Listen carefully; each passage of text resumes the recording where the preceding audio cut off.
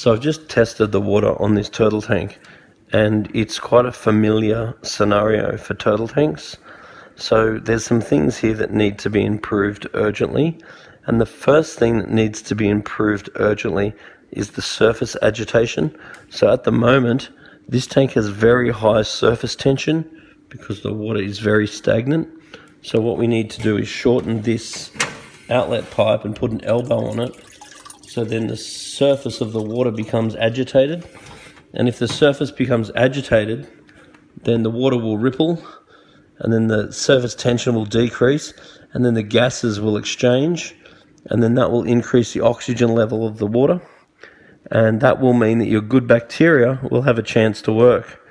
In the situation that is currently present, the surface agitation doesn't exist, so therefore your oxygen level is very low. And if your dissolved oxygen level is low, that means your redox potential will be very low. That means that the bacteria will work super slow. Then if the bacteria work super slow, that means you need more bacteria to break down the same amount of waste. So this tank has nitrite in it, which means that the bacteria is not effectively able to work. The other thing too is that the um, lack of oxygen means that you're going to have an increase of CO2, and the increase of CO2 is what's going to drive down your pH. And these animals hate being in acidic water. They really want to be in slightly alkaline water. So by increasing the surface agitation, we're going to speed up the rate of the bacteria to work, and we're also going to help stabilize the pH. So what we're going to do with this aquarium, do a nice water change, make sure the filter is cleaned in water from the fish tank, not water from the tap. We're going to make sure that it's got good surface agitation on the outlet of the filter. We're going to make sure that we're going to dose some water agent daily just to help detoxify the nitrite for now and make sure that goes into all new water that goes into the tank.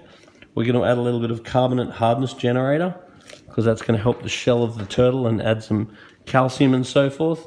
And we're going to add some general hardeners and that's just going to increase the salt and add some calcium, magnesium and other stuff that'll be good for the turtle. So if you have a situation like this, it's a really good idea to grab your phone, make a little video of the animal and what he's doing in the whole setup and bring a sample of water down to Majestic Aquariums and we can check it all out for you. So these animals, this guy's got a bung eye at the moment, but they're super tough. So you can think that everything's okay and for a long period of time they can be okay. But your idea is to have a beautiful thriving pet, not a slowly dying animal. So don't assume things are okay. Just bring a sample of water and a video and let us go through it with you. Then he'll be a nice, happy, healthy turtle instead of on death wish.